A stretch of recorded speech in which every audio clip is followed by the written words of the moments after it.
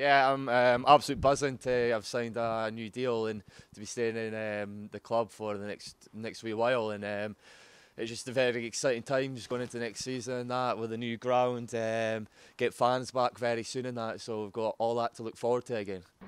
Yeah, I can't wait. Like it's such a quick pitch. Same at like training in Oriam or at Scotstoun and that. Um, the three the three G pitches are very quick and um, it's just I love I love that quick ball and um, hopefully going into next season we can um, play that wide expansive game and get get get loads of ball and get loads of running rugby playing.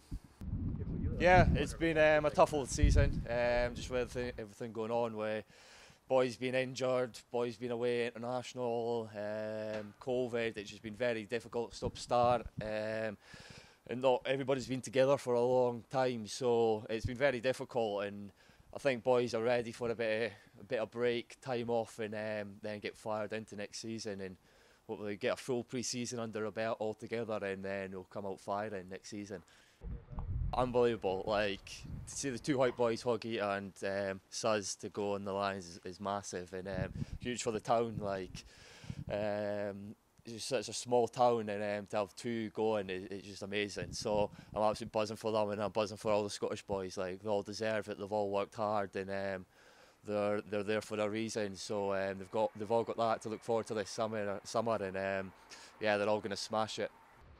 Ah, it's amazing. Like just so thankful he came home and um, yeah, like it's it's unbelievable feeling to have him home and um, that last weekend had a long weekend down in Hawick and um, we sat all us just sat and we never stopped laughing and that and um, he's just done an amazing job with his recovery um, at 17 year old to go through what he's went through. It's um, I wouldn't wish it upon anybody and um, he's just taken it. He's just adjusted to life. Um, kind of four months in hospital, four and a half months in hospital and he just adjusted to life in there like absolutely like a trooper and um, I'll probably spend a lot of time down the road now and um, just enjoy the time we've missed out on. he's smashed everything that's been thrown at him. So um, I'm very proud of him.